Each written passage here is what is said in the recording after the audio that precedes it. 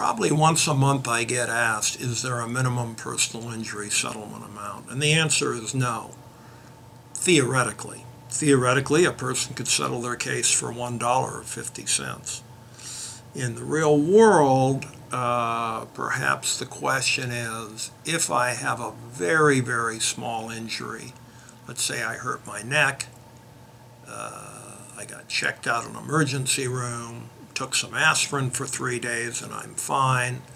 And uh, the only bill I had to pay was a $50 deductible to my health insurance. Am I going to be able to find a lawyer? Typically, I would say no, you probably won't be able to find a lawyer because, at least speaking for myself, it kind of doesn't make any sense for either you, the client, or for me.